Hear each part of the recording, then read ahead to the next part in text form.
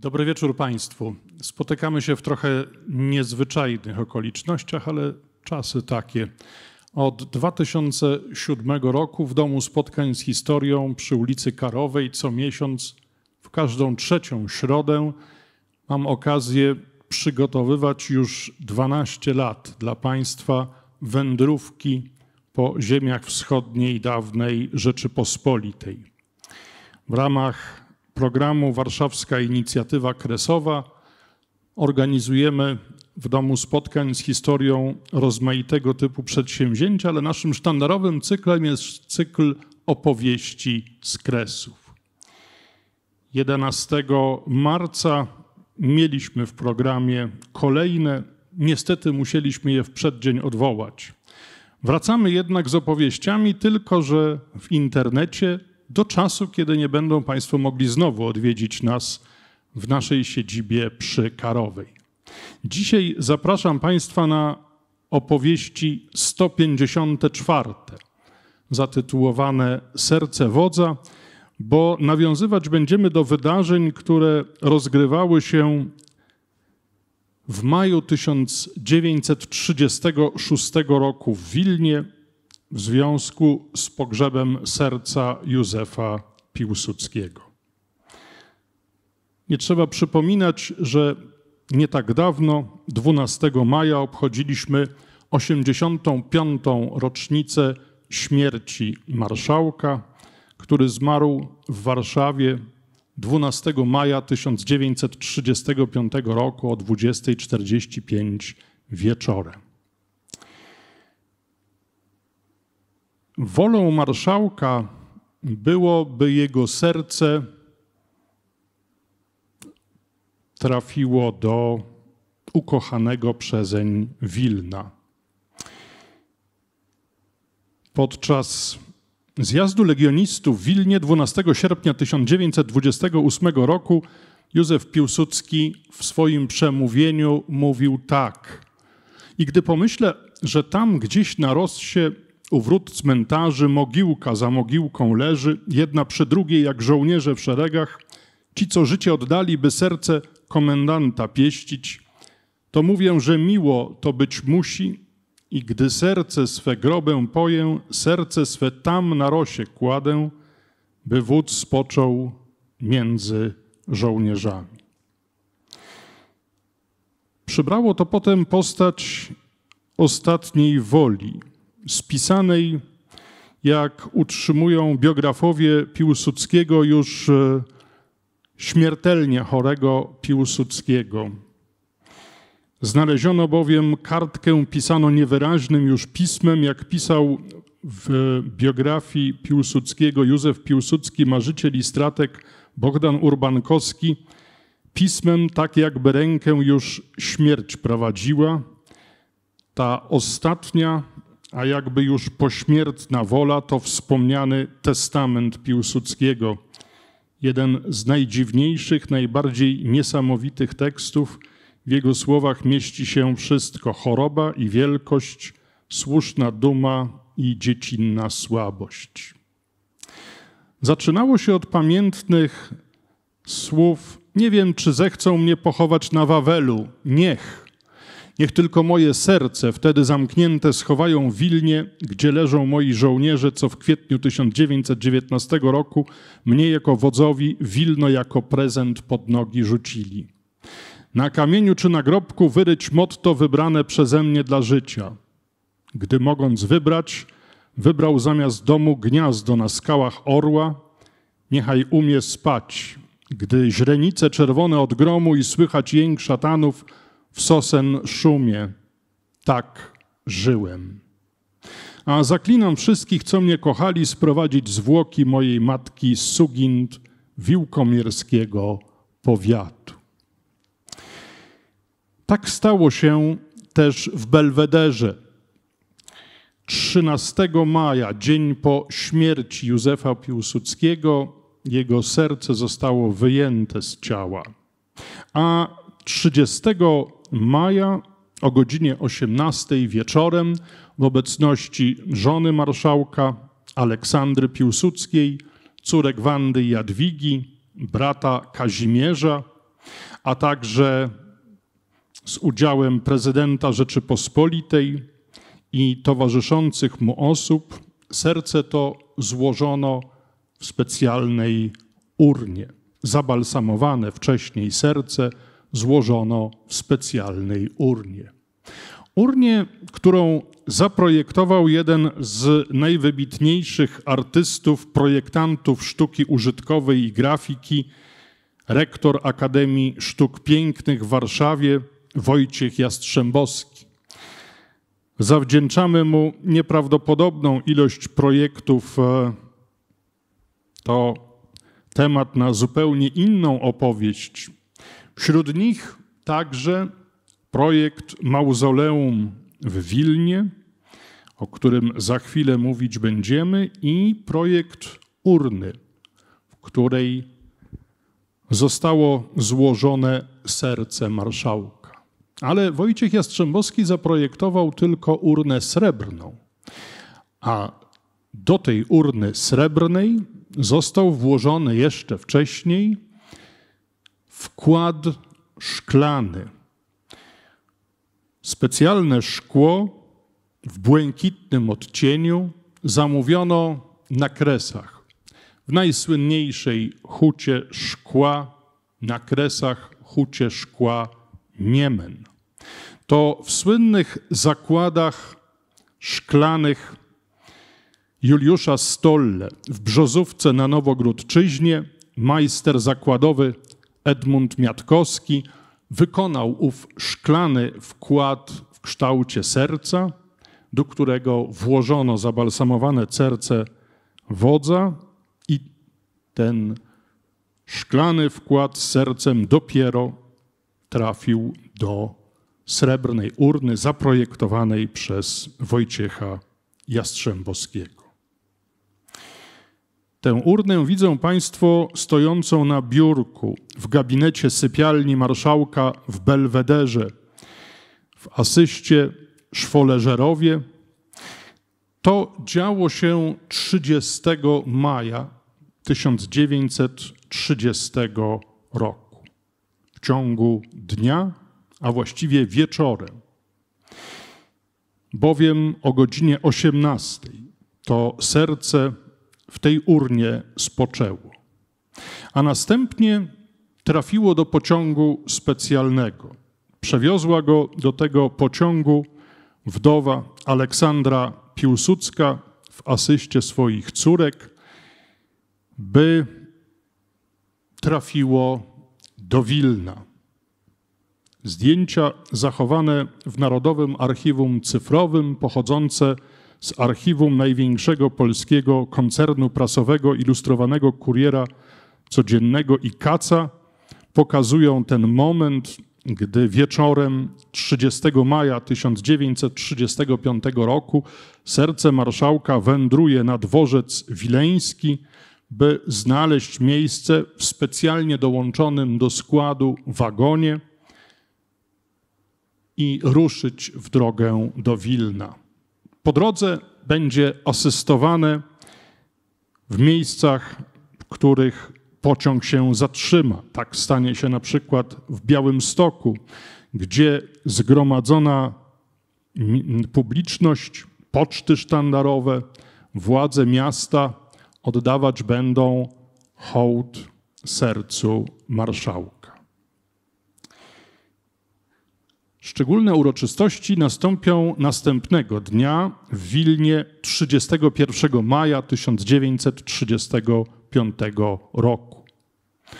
Serce z pociągu specjalnego niesione w zaprojektowanej specjalnie lektyce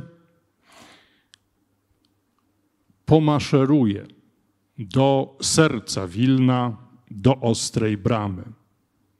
Za lektyką postępuje Aleksandra Piłsudska, córki marszałka, oficerowie, żołnierze.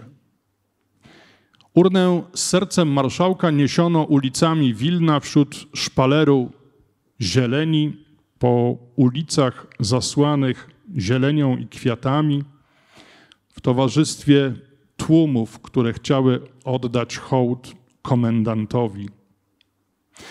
Serce niesione w tej lektyce wniesiono do największego, najświętszego symbolu Wilna, do kaplicy z obrazem Matki Bożej. I ustawiono tutaj w oknie kaplicy udekorowany fronton ostrej bramy, udekorowany kirem i wilnianie, którzy żegnają serce marszałka. Po uroczystościach żałobnych w Ostrej Bramie jeden z wybitnych polskich grafików, Stanisław Ostoja-Chrostowski, przygotował piękny rysunek ołówkiem. Miał być projektem do niezrealizowanego drzeworytu pokazującego Matkę Bożą Ostrobramską przytulującą do serca serce Józefa Piłsudskiego. Ten rysunek znajduje się w zbiorach Biblioteki Narodowej. Uroczystościom żałobnym, w których mogła uczestniczyć ze względu na szczupłość ulicy Ostrobramskiej w tym miejscu tylko część mieszkańców miasta, towarzyszyły oczywiście tłumy w sąsiednich uliczkach. A potem z kaplicy w Ostrej Bramie serce przeniesiono uroczyście w towarzystwie arcybiskupa wileńskiego i kleru do kościoła świętej Teresy. Ówczesna prasa ilustrowana zamieszczała kolorowe zdjęcia z tej uroczystości. To tutaj w bocznej ścianie w kościele świętej Teresy zamurowano na pewien czas serce Józefa Piłsudskiego.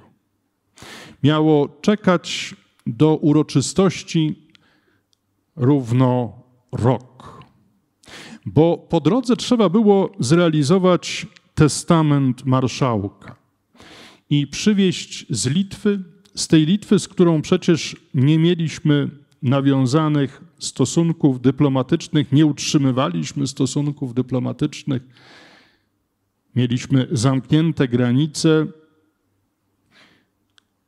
prochy matki Józefa Piłsudskiego, Marii Piłsudskiej z Bilewiczów, która zmarła 1 września 1884 roku i została pochowana na malutkim kameralnym cmentarzu w niewielkich Sugintach koło Uciany na Litwie Kowieńskiej.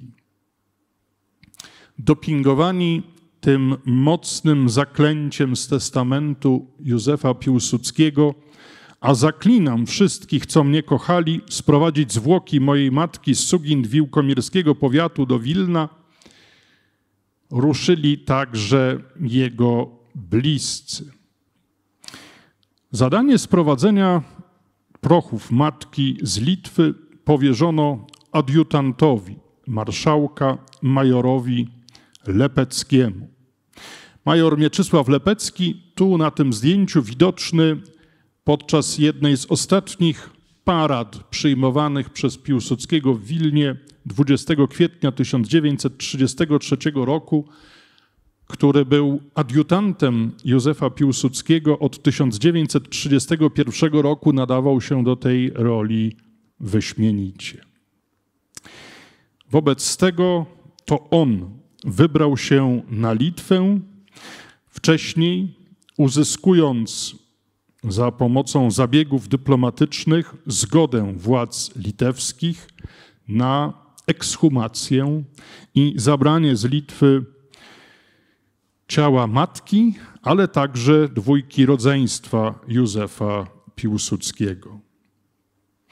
Major Mieczysław Lepecki, który opublikował z czasem swój pamiętnik, wydany, dostępny bez kłopotów, pamiętnik adiutanta marszałka Józefa Piłsudskiego, pisał tak. Na mnie przypadł zaszczyt wykonania tego testamentu. minister Beck wydał polecenie posłowi w Rydze, aby przeprowadził rozmowę w tej sprawie z posłem litewskim. Jak wiadomo, nie było podówczas bezpośrednich stosunków dyplomatycznych między Warszawą i Kownem i musiała być użyta taka okrężna droga. Po parodniowym namyślaniu nadeszła odpowiedź: rząd litewski nie ma nic przeciw temu, aby kapitan Mieczysław Lepecki w towarzystwie dyrektora Czesława Kadenacego, syna siostry Józefa Piłsudskiego, przybył na Litwę w celu dokonania ekshumacji zwłok Marii Zbilewiczów Piłsudskich. No i tak Lepecki z Kadenacym wybrali się do niewielkich Sugint pod Ucianą.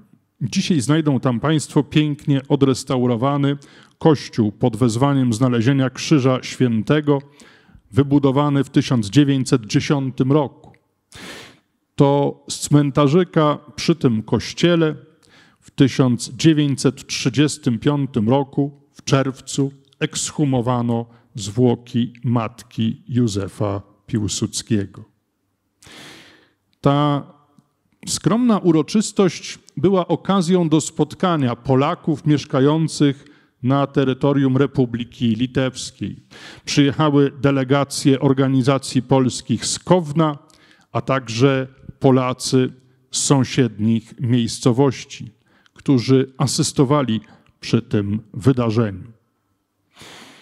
Kilkanaście zdjęć z ekshumacji w Sugintach zgromadzili w swoim archiwum Czesław i Ryszard Mackiewiczowie, a udostępniła w internecie, a udostępnił w internecie portal kresy.pl.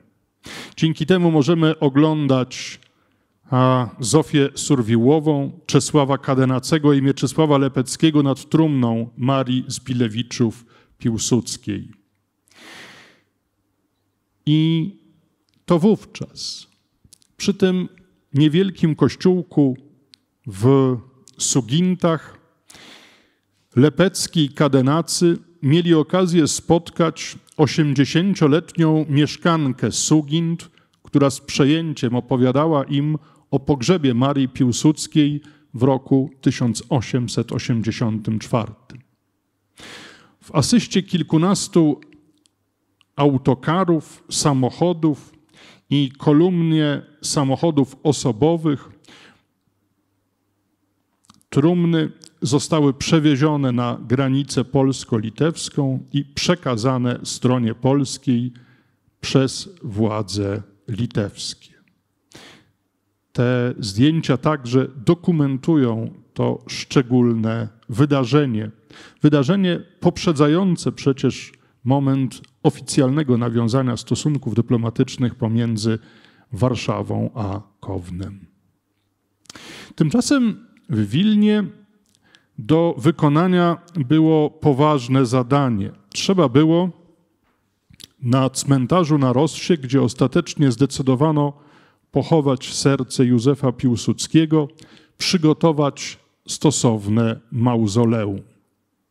Dzięki monumentalnej, liczącej ponad 600 stron książce wydanej niespełna rok temu, Cmentarz na Rossie w Wilnie, Historia, nauka, przyroda, mamy do dyspozycji fantastyczną dokumentację tamtych wydarzeń. Oto bowiem Narodowy Instytut Polskiego Dziedzictwa Kulturowego za granicą Polonika, wydając pierwszą profesjonalną monografię cmentarza na Rossie, zadbał o to, by poprzedzić tą publikację stosownymi badaniami, a dzięki tym badaniom doktor Bartłomiej Gutowski mógł napisać znakomity tekst o historii cmentarza na Rossie w XX wieku i wszystkich szczegółach związanych z budową mauzoleum Józefa Piłsudskiego. Mauzoleum, które zaprojektował, podobnie jak wspomnianą już wcześniej urnę, Wojciech Jastrzębowski. Wszystkich zainteresowanych szczegółami odsyłam do tej publikacji. Znajdą tam Państwo i kolejne projekty, i opis kolejnych projektów przygotowanych przez Wojciecha Jastrzębowskiego, i wszystkie prace, które trzeba było wykonać, by przygotować piękny wojenny cmentarz urządzony tam niespełna 10 lat wcześniej do przyjęcia serca Józefa Piłsudskiego i prochów jego matki. Tak wyglądały szkicowane plany, by w środkowej kwaterze pomiędzy grobami żołnierzy z 1919 roku, poległych przy zdobywaniu Wilna, pochować serce Józefa Piłsudskiego i jego matkę. Na górze mauzoleum zamknięte miało być e, monumentalną płytą. Pod spodem w ziemi miała mieścić się krypta. Przekrój tej krypty widać na ekranie. To tutaj miała spocząć trumna ze zwłokami matki i urna z sercem syna. O wszystkich perypetiach związanych z budową tego mauzoleum mogą Państwo przeczytać we wspomnianej monografii Cmentarz na Rossie w Wilnie, Historia, Sztuka, Przyroda. A tymczasem możemy oglądać prace, które trwały przez rok 1935 i 1936, przygotowujący nekropolię na Rossie do przyjęcia serca marszałka. Rzecz nie była prosta, bowiem poza rozmaitymi pracami, które trzeba było wykonać tutaj na miejscu, trzeba było sprostać bardzo ambitnemu planowi, by w budowie tego mauzoleum wykorzystać wyłącznie rodzime surowce. Założeniem komitetu i projektantów było bowiem, aby płyta i kamienie, które były, miały być wykorzystane przy budowie i tworzeniu mauzoleum, nie były byle jakimi. Nie chodziło o sprowadzenie jakiejś efektownej płyty z któregoś z kamieniołomów zagranicznych. Chodziło o pozyskanie materiałów własnych. Jak pisze dr Bartłomiej Gutowski, zgodnie z założeniami projektu wokół grobowca znaleźć się miały elementy symboliczne. Przede wszystkim zdecydowano o wykorzystaniu wyłącznie surowców krajowych. Wokół płyty posadzono cztery dwudziestoparoletnie sosny. Alejkę prowadzącą do grobowca postanowiono ująć po bokach azaliami poleskimi. To szczególny gatunek rośliny rosnącej kwitnącej wyłącznie na kresach na Polesiu, takimi samymi jak swego czasu podarowane zostały marszałkowi znajdowały się w Sulejówku. Płyta nagrobna miała być wykonana z czarnego granitu wołyńskiego, a stele na grobach żołnierzy z granitu tatrzańskiego. Trzeba było znaleźć odpowiednie kamienie, o perypetiach z tym związanych przeczytamy w monografii, a my dodajmy, że ostatecznie biały granit znaleziono w Tatrach, w Dolinie Suchej Wody, kawałeczek za Zakopanem i to tutaj górale pracowali przy wydobywaniu owych kamieni, które cięto potem na płyty użyte do budowy mauzoleum na Rossie. Znacznie większe problemy nastręczało znalezienie wielkiej monumentalnej płyty, którą Wojciech Jastrzębowski planował nakryć grobowiec, bo poszukiwanie głazu na początku nie przynosiło zadowalających efektów. Próbowano w różnych kamieniołomach wołyńskich, ale nie można było znaleźć odpowiedniej jakości, odpowiedniej wielkości płyty. Ostatecznie udało się to po rozmaitych poszukiwaniach w Bonisławce na Wołyniu. Po drodze przewędrowano jeszcze przez liczne inne kamieniołomy.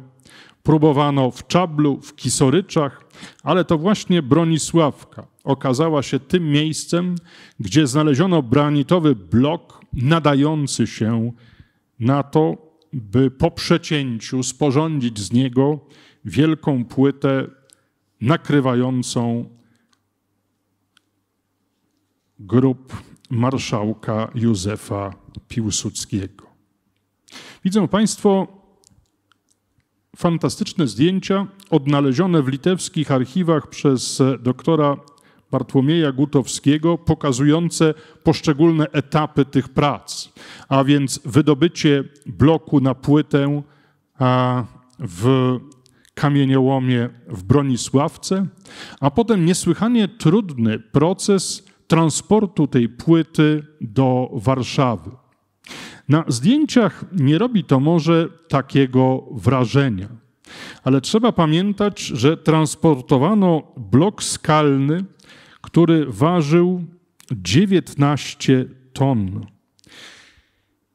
Nawet najsilniejsze samochody nie były w stanie pociągnąć takiego ciężaru.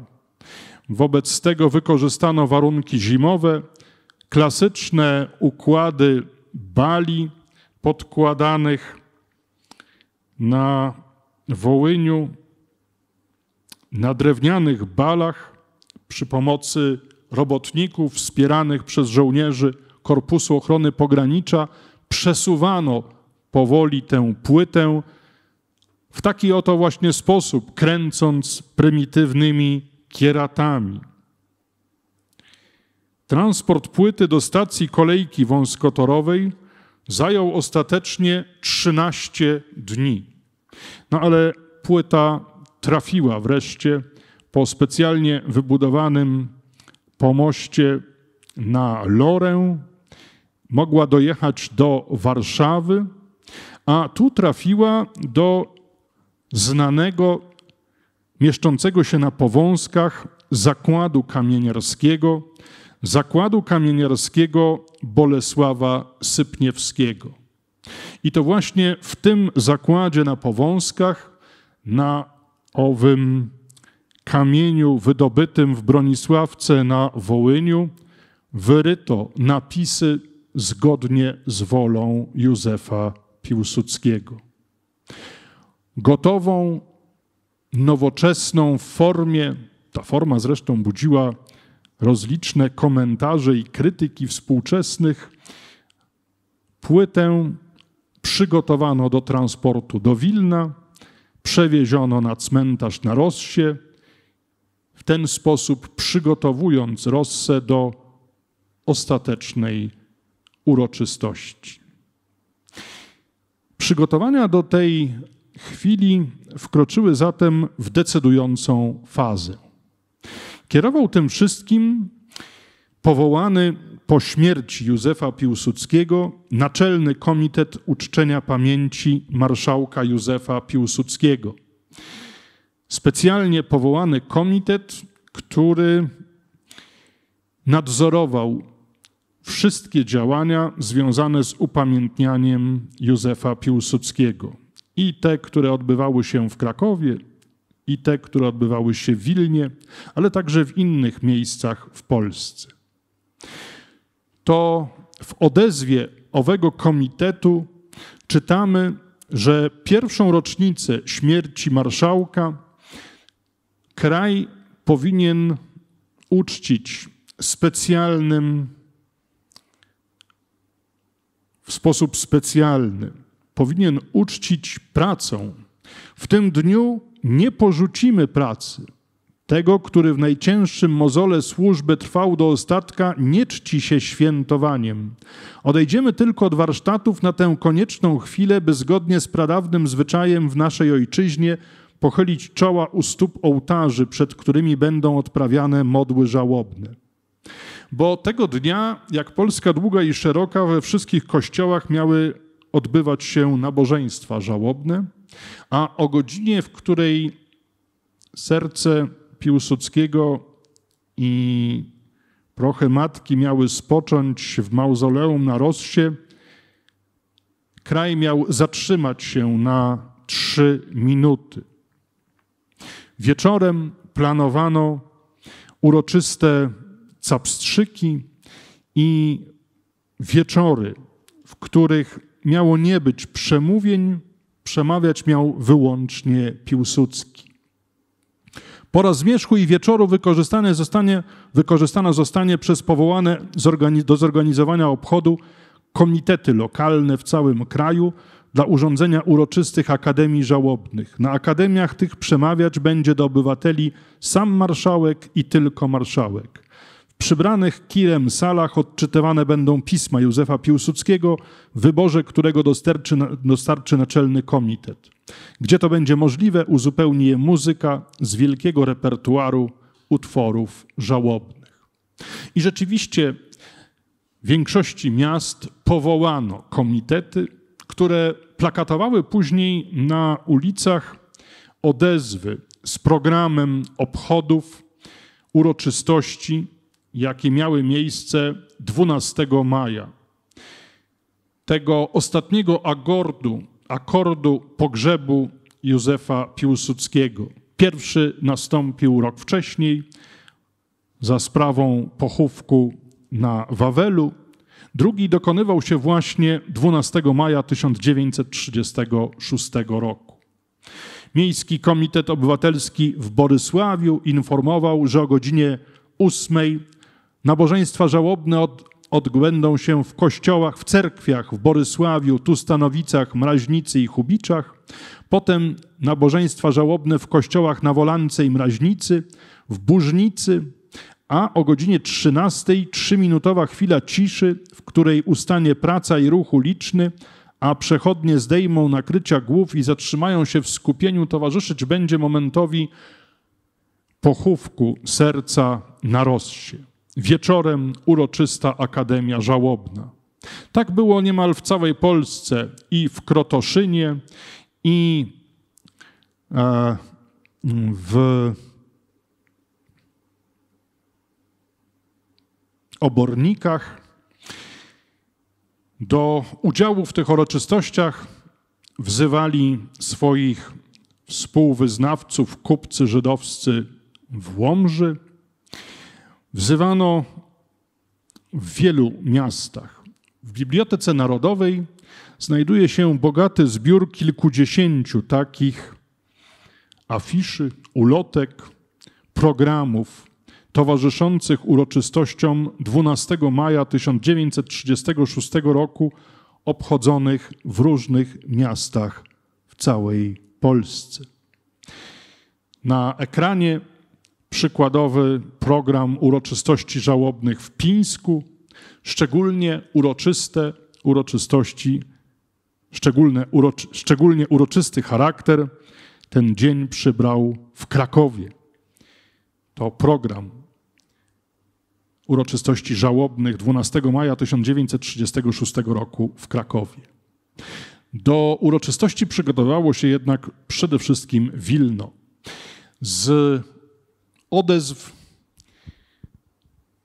apelowano, by Wilnianie przygotowali pomieszczenia dla spodziewanych tutaj licznie rodaków, którzy zjadą ze wszystkich stron kraju, by towarzyszyć pogrzebowi serca Józefa Piłsudskiego. Spodziewano się około 30 tysięcy gości. Stąd apel, by przeznaczyć wszystkie możliwe pomieszczenia, pokoje dla przyjęcia przyjezdnych. Na cele noclegowe zamieniono znakomitą większość budynków użyteczności publicznej, przede wszystkim szkół, gimnazjów, burs, ale także klasztory, koszary i rozmaite inne instytucje, które mogły przyjąć przybyszy z zewnątrz. W specjalnie opublikowanej broszurze publikowano wykaz lokali oddanych na kwatery zbiorowe dla przyjezdnych na uroczystości 12 maja 1936 roku. Do tego dochodziły kwatery szkolne, przeznaczone dla delegacji młodzieży szkolnej. Na ścianach wieszano pięknie zaprojektowany przez Wileńskiego grafika Hoppena, plakat anonsujący pogrzeb serca Józefa Piłsudskiego, a ulice miasta przyozdobiono kirem i dekoracjami w barwach Krzyża Virtuti Militari oraz Krzyża Niepodległości. Takie dekoracje wykonano w całym ciągu ulic, którymi miał podążać kondukt żałobny. Widzą Państwo ulicę Piwną przygotowaną na uroczystości 12 maja 1936 roku. By nie było wątpliwości, co należy czynić, gdzie należy się zgłaszać, jak będzie wyglądał program tych uroczystości. Przygotowano kolportowaną w wielkim e, nakładzie broszurę uroczystości żałobne w Wilnie 11-12 maja 1936 roku, gdzie na kilkunastu stronach ze wszystkimi szczegółami podawany był program tych uroczystości i praktyczne informacje, zarówno dla mieszkańców Wilna, jak i dla przyjezdnych. A Wilno już przyjmowało pociągi specjalne. 11 i 12 maja 1936 roku do Wilna przyjechało 19 takich specjalnych pociągów. Pierwsze na dworzec wileński wjechały już bladym świtem 11 maja. Ostatnie dojeżdżały jeszcze rankiem dnia następnego. Każdy z tych pociągów miał swoją nazwę. Stolica z hołdem do Wilna, krakowskie z hołdem do Wilna, kieleckie z hołdem do Wilna, Śląsk z hołdem do Wilna, lubelskie z hołdem do Wilna, Łódź z hołdem do Wilna i tak dalej, i tak dalej. Wieczorem Warszawę opuścił także prezydent, by w towarzystwie przedstawicieli rządu i instytucji państwowych udać się do Wilna na te uroczystości. Uroczystości, które rozpoczynały się w przeddzień 11 maja 1936 roku. Szczegółowy ich program podawała prasa nie tylko wileńska, to przykład kuriera nowogródzkiego, który informował o tym, co dziać będzie się w ciągu tych dwóch dni w Wilnie. Ale zanim jeszcze rozpoczęły się uroczystości, w Warszawie odbyło się pod przewodnictwem premiera Kościołkowskiego posiedzenie Rady Ministrów, a na nim podjęto niezwykłą decyzję. Oto Rada Ministrów, pragnąc uczcić w pierwszą rocznicę zgonu pamięć wielkiego marszałka Polski, podjęła następującą uchwałę. Rada Ministrów, mając na uwadze podstawy rozwoju tej ziemi, która była zawsze najbliższa sercu Józefa Piłsudskiego, postanawia, udzielając pomocy ludności ziemi wileńskiej, zrealizować budowę w ciągu roku 1936 i 1937 stu nowych szkół powszechnych imienia pierwszego marszałka Polski. Niezbędne środki pomocy w budulcu i w kwotach pieniężnych zostaną postawione do dyspozycji w ciągu najbliższego miesiąca. Rzeczywiście, to było niezwykłe wyzwanie i wyzwanie zrealizowane. Na Wileńszczyźnie powstało 100 szkół imienia marszałka Józefa Piłsudskiego. Tymczasem po południu zaczynały się uroczystości pogrzebowe. O godzinie 18 otwierano wystawę w Bibliotece Uniwersytetu Stefana Batorego. Na tej uczelni, której, którą tak czynnie wspierał zmarły marszałek, przypominano jego związki z Wilną, z Wilnem. Oto zaproszenie dyrekcji Biblioteki Uniwersyteckiej w Wilnie na wystawę Marszałek Józef Piłsudski a Wilno. Wystawa została zrealizowana w jednej z najpiękniejszych sal tej wspaniałej biblioteki, ozdobionej freskami, stiukami, sali w której znajdowały się historyczne księgozbiory i pamiątki. Tak wyglądała Biblioteka Uniwersytecka w Wilnie z wystawą poświęconą Józefowi Piłsudskiemu. Wystawą, której towarzyszył specjalny katalog marszałek Józef Piłsudski a Wilno. Wystawą, która dzieliła się na kilka części. Młodość marszałka, praca niepodległościowa, legiony, wyzwolenie Wilna, wskrzeszenie Uniwersytetu Stefana Batorego, pobyt na Wileńszczyźnie, pobyty marszałka Józefa Piłsudskiego w Wilnie, wreszcie serce marszałka. Ostatnia część dotyczyła uroczystości pogrzebowych.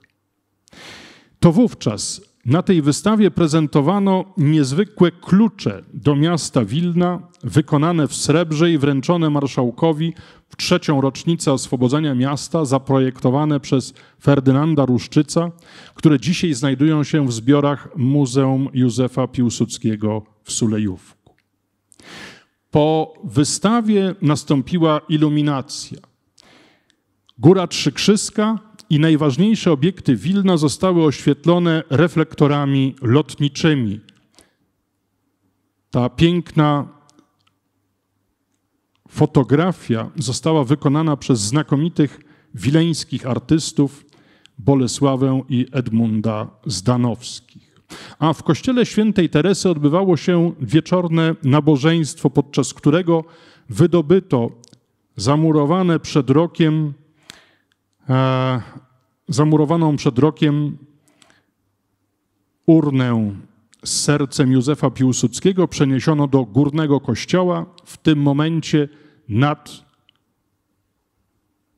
kościołem świętej Teresy spotykały się promienie reflektorów lotniczych. Wilno w żałobie szykowało się do tego ostatecznego, najważniejszego dnia 12 maja. Szczegółowy program drukował Monitor Polski, podawała wileńska prasa, a Polskie Radio zmieniło całkowicie swój program. Od wczesnych godzin rannych, to jest od rozpoczęcia uroczystości w Wilnie do pogrzebu na Rossie, z Wilna prowadzona była bezpośrednia transmisja radiowa. Zresztą po południu program radiowy także dotyczył uroczystości wileńskich i wspomnień dotyczących Józefa Piłsudskiego. Z kościoła świętej Teresy, gdzie przechowywano serce Józefa Piłsudskiego, wyruszył w pewnym momencie kondukt.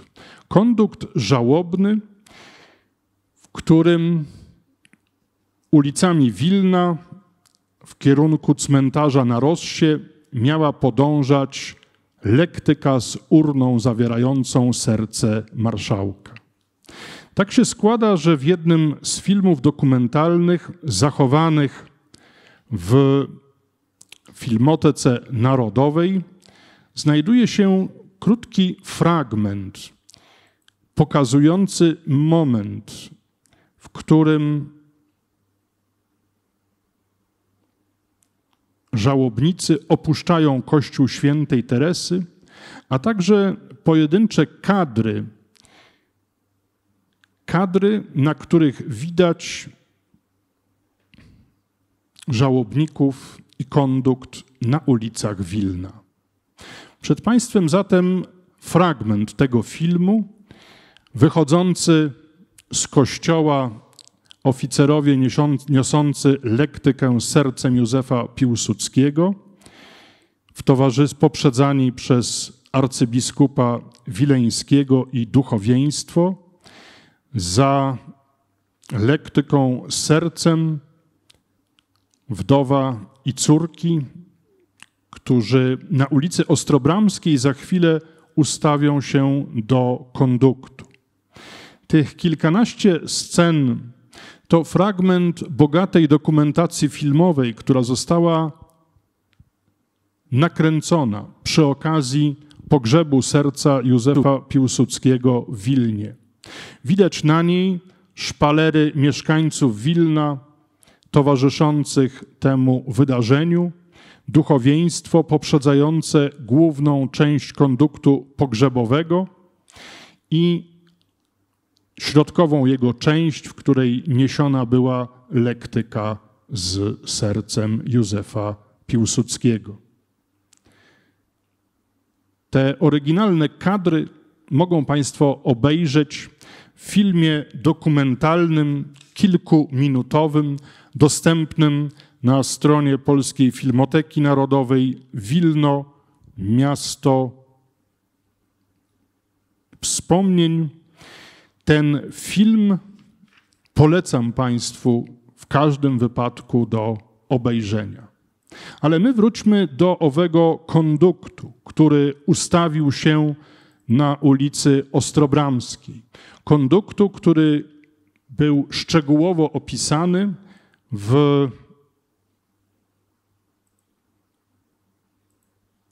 owej broszurze, którą przed chwilą Państwu pokazywałem. Zatem za trumną, za lektyką zawierającą serce marszałka, niesioną przez przedstawicieli organizacji reprezentujących historyczne losy marszałka, czyli nieśli ją bojowcy z roku 1905, strzelcy sprzed I wojny światowej, legioniści, peowiacy, wreszcie ci, którzy brali udział w walkach o niepodległość.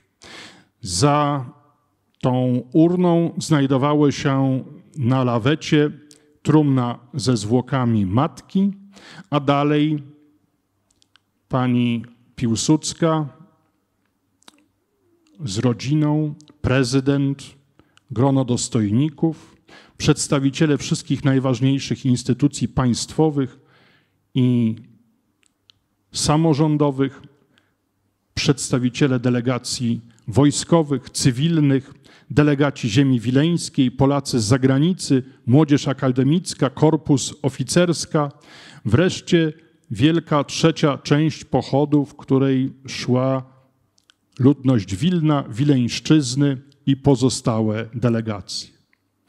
Na dziesiątkach zdjęć wykonanych wówczas na ulicach Wilna widać lektykę, urnę, czoło pochodu.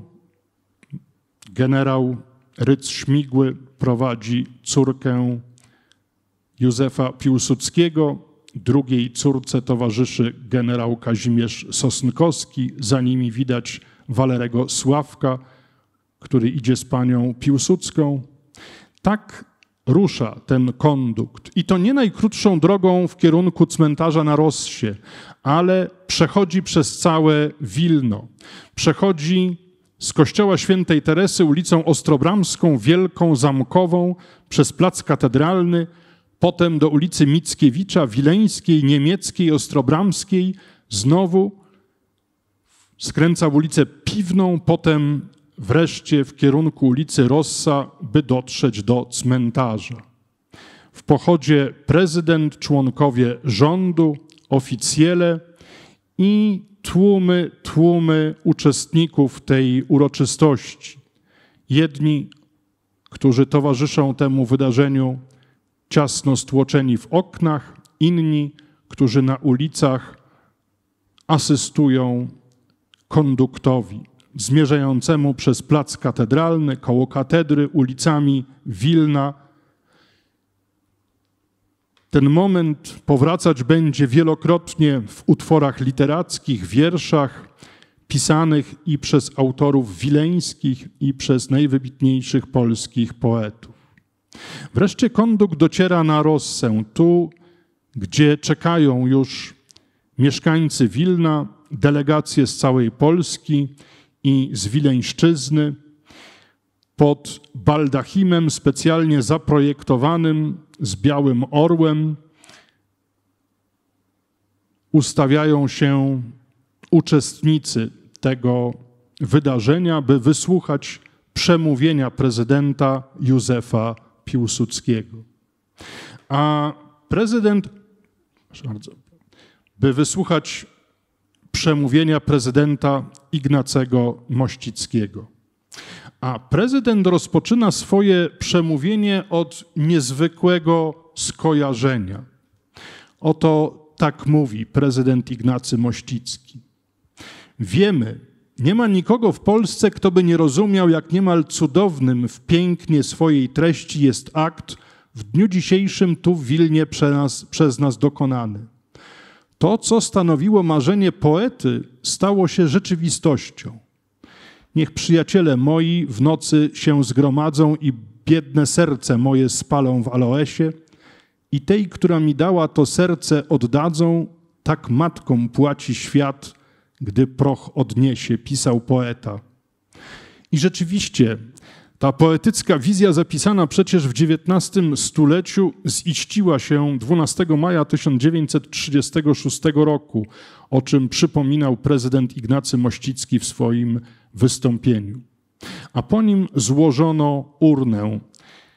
Pani Piłsudska przekazuje ją swojej córce, która umieści ją w krypcie a znajdującym się po, znajdującej się poniżej. Potem Capstrzyk 101 salw armatnich w towarzystwie tłumów pocztów sztandarowych zgromadzonych na cmentarzu na Wileńskiej Rossie. To tu ostatecznie spoczywa do dnia dzisiejszego serce marszałka Józefa Piłsudskiego.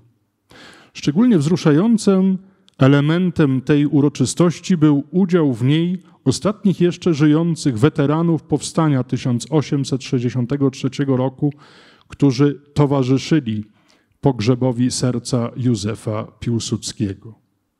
Kończą się uroczystości. Do limuzyny wsiada ryc śmigły.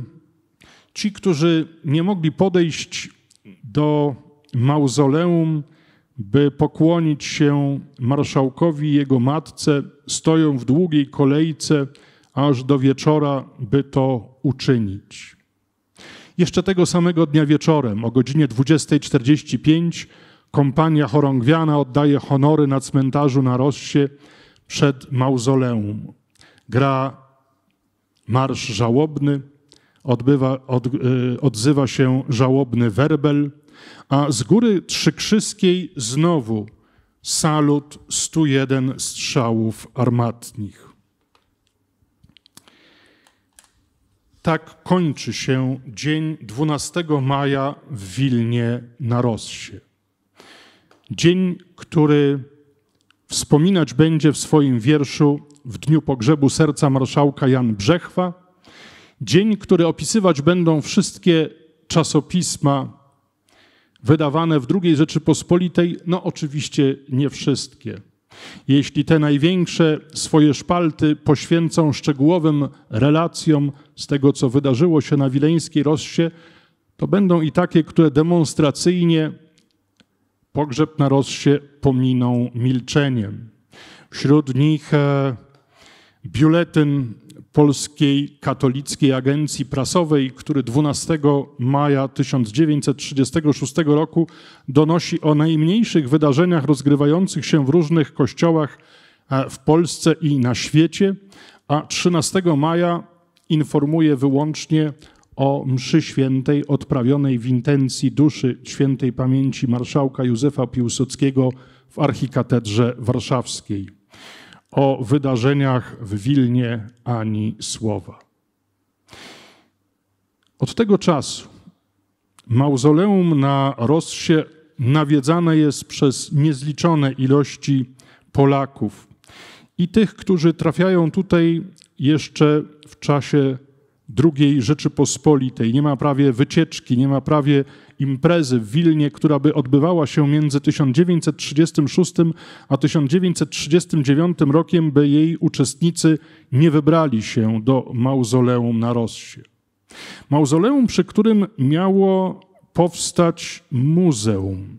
Miało powstać muzeum, gdzie miano zgromadzić pamiątki towarzyszące tej ostatniej drodze serca, muzeum nie powstało, ale mauzoleum szczęśliwie przetrwało. Burzliwe dzieje II wojnę światową, okres powojenny i po restauracjach z ostatnich lat nadal przyciąga tłumy, będąc bodaj najczęściej odwiedzanym miejscem na cmentarzu na Rossie.